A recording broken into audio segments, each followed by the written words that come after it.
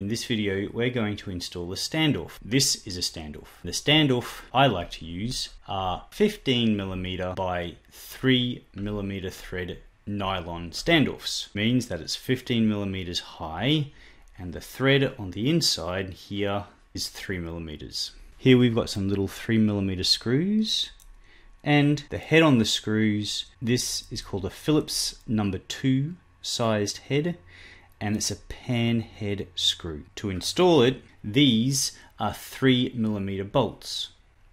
It's a pan head bolt with a Phillips head driver and the shaft of the bolt is 6 millimeters long. So I would call this an M3 6 millimeter pan head bolt. When you put the bolt through the hole that you've drilled earlier,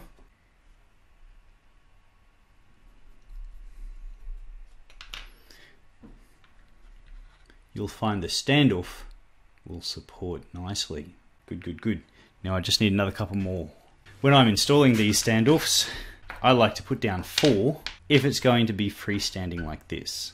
If you've got the sizes correct, you'll find that the standoffs will match nicely on these holes. If you don't have access to this mounting board, you can just get a piece of cardboard or timber or something and drill matching holes. The way you would do that is put a mark through the hole onto the board underneath and drill both holes together. Once you've got your strip board with your standoffs on your mounting board,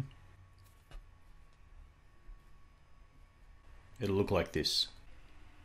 Once you've got your strip board with your standoffs on your mounting board, this is a standard size I use for all sorts of things.